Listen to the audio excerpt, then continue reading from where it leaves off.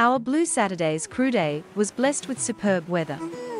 In the morning, our usual training in the bay was cut short by a call for help from a 4.2 metre tinny with three people on board. Watch out because you can't see the tow line very well. They needed a tow from the Gneering Shoals back to Mooloolaba Harbour. On board Rotary 3, and as we approached Mooloolaba Rescue and her tow, we all remarked on how easy it was to miss the two main telltales that these two vessels had a tow line between them. A line that could easily snag an unwary boater who might think the gap between these two boats was navigable. Yeah, cannot see that tow line at all.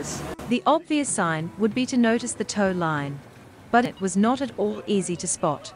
The second sign was the restricted inability to maneuver flag that Mooloolaba Rescue was flying. Again, not easy to spot and perhaps a signal that many recreational boaters would not necessarily be familiar with. In conditions like this, our skippers can also use the orange flashing lights that may alert an unsuspecting vessel approaching and in danger of not spotting the tow. A last resort might be for our crew to jump up and down and scream. But this particular signal does not get an official mention in the collision regulations. Today, Paul on Mooloolaba Rescue was preparing for demonstrating his navigational, towing and rafting skills. We're playing hide and seek, sitting in a nice little pocket just inside Secrets Reef off um, the headland, just below the lighthouse, just east of the lighthouse. And um, Mooloolaba Rotary Rescue is going to um, try and find us and tow us back. 500 metres away from the uh, shark nets. Yeah, we should be able to pick up um, their radio call moment. Pretty close to nets, pretty close to swimmers.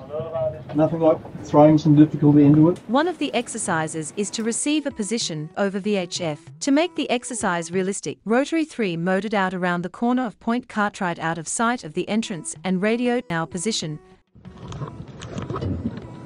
Yeah, Rotary 3, go ahead. We're going to do a 360 round you and then throw the line as we're heading back out. Just turn you around and we'll drag you back out over. Which side are you going to throw the line, or is that decision when you made when you've done your round? Decision when he's done his 360 over.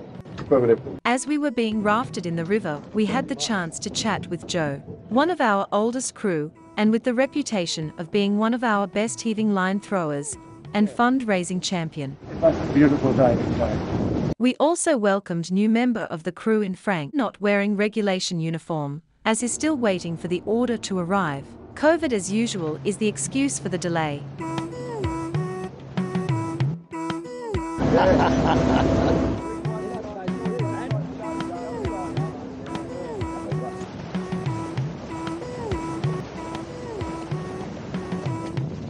Yeah, we're a member, so none of that credit card stuff. We were in the middle of devising yet more dastardly plans to make the exercise more realistic when a call came through for an assist close to the harbour. Noosa, there's a pump out station at Noosa. There's a pump out at Noosa. Rotary 3 was tasked with assisting the 7.3 metre boat back into the river and to her pontoon berth near Kawana Waters. Further training was cut short this day, as our Mooloolaba rescue crew got a further call out later in the afternoon. This time, with two persons on board, all in all a beautiful day on the water, and with four assists plenty of opportunities to keep us on our toes,